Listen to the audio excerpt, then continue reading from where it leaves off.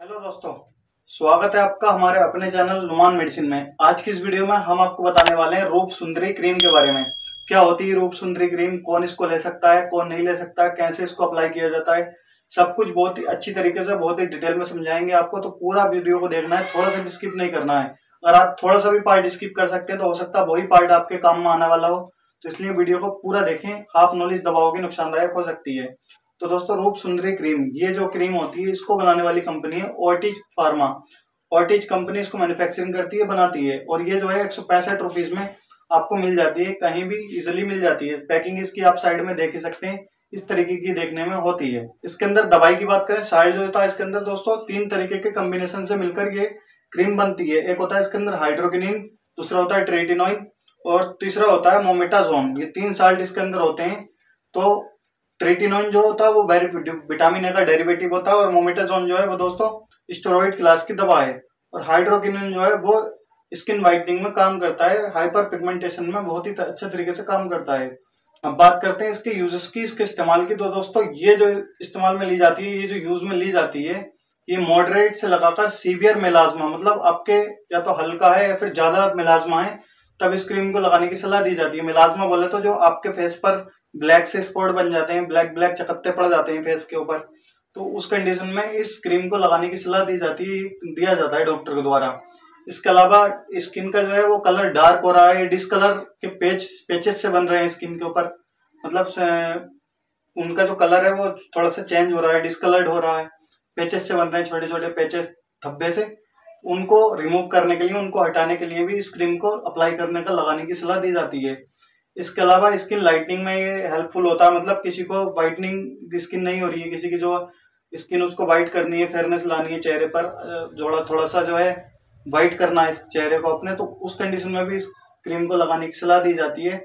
लेकिन ये जो दोस्तों, ये क्रीम जो है, ये डॉक्टर के देख में ही चलाई जाती है। खुद से इसको नहीं लगाया जाता, क्योंकि डॉक्टर जो है अपने एक्सपीरियंस के हिसाब से आपको बताएँगे कि कितने दिन लगाना है, कितने दिन नहीं लगाना है। क्योंकि अगर आप खुद से लगाएँगे तो आप हो सकता है आप बीस दिन, पचास दिन, सौ दिन, कितने दिन भी आप लगा सकते हैं तो उससे जो आपकी स्किन को बजाय फ़ायदे के और नुकसान उठाना पड़ सकता है। तो इसलिए खुद से ना लगाएँ, डॉक्टर की सलाह लेकर ही लगाएँ। इसके अलावा पिगमेंटेशन में इस्तेमाल में लाया जाता है, जैसे कि किसी के हाइपर पिगमेंटेशन हो जाता है, किसी के जो है ब्लैक ब्लैक स्पॉट्स बन जाते हैं, काले काले से चकत्ते बन जाते हैं, जो पिगमेंटेशन इकट्ठा हो जाता है। उस पिगमेंटेशन को हटाने का इस्तेमाल में भी लाई जाती है, उसको रिड्यूस करती है। इसके अलावा ब्राउन से पैचेस बन जाते हैं ब्राउन कलर के पैचेस बन जाते हैं स्किन के ऊपर ब्राउन से धब्बे बन जाते हैं, उसको भी हटाता है। इसके अलावा जो है नाक पर चेक्स पर पोर हेड्स बन जाते हैं। छोटे छोटे छोटे छोटे से दाने जो बन जाते हैं, उनको हटाने का भी ये काम करता है। पोर हेड्स इनको बोला जाता है। तो इतने सारे इस्तेमाल में लाया जाता है दोस्तों। खास करके ये जो है मिलाजमा और हाइपर पिगमेंटेशन में इस्तेमाल में लाया जाता है, खास करके स्किन लाइटनिंग में। अब बात करते हैं कि ये जो इतने, ये जो चीज़ें हैं, ये जो फेस पर धब्बे उब्बे जो होते हैं, वो होते क्यों तो दोस्तों, खास करके ज़्यादातर जो ये हो जाते हैं, ये जो है प्रेगनेंसी में ज़्यादा होते हैं, देखने को मिलते हैं महिलाओं के अंदर, क्योंकि महिलाओं के अंदर प्रेगनेंसी के टाइम पर उनके हार्मोन्स जो है इम्बेलेंस हो जाते हैं चेंज हो जाते हैं। उस कंडीशन को उनके फेस पर जो दाग धब्बे वगैरह बनने लगते हैं।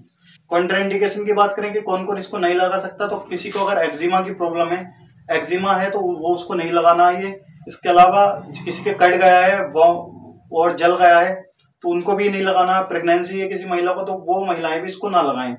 ये तो हुए इसके कॉन्ट्राइंडिकेशन बात करें इसके साइड इफ़ेक्ट की तो साइड इफ़ेक्ट जैसे कि इसमें आ सकते हैं ईचिंग हो सकती है स्किन पर, जहाँ पर भी इसको लगाया आपने रेडनेस आ सकती है बर्निंग सेंसेशन हो सकती है वहाँ पर, और थिनिंग ऑफ़ मतलब स्किन जो थिन होगी, पतली हो जाएगी वहाँ की स्किन तो इतने सारे साइड इफ़ेक्ट इसके आ सकते हैं दोस्तों, इसलिए मैं कहता हूँ कि खुद से इसको नहीं लगाना है डॉक्टर की सलाह से ही लगाना है।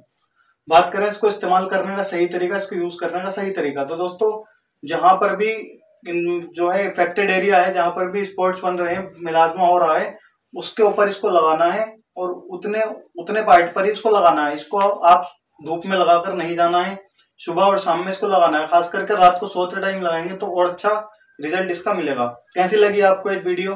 हमने काफ़ी अच्छे से, काफ़ी शॉर्ट में और काफ़ी इजी लैंग्वेज में समझाने की कोशिश की है। अगर वीडियो समझ में आई तो चैनल को सब्सक्राइब कर दें, वीडियो को लाइक कर दें। और हाँ दोस्तों, हमारा एक और चैनल भी है, जिसका नाम है नुमान आयुर्वेद। आप चाहें तो उस चैनल को भी जाकर देख सकते हैं, सपोर्ट करें, उस चैनल को भी सब्सक्राइब करें। तो दोस्तों, हम मिलते हैं कल फिर एक नई वीडियो, एक नई जानकारी के साथ। Thank you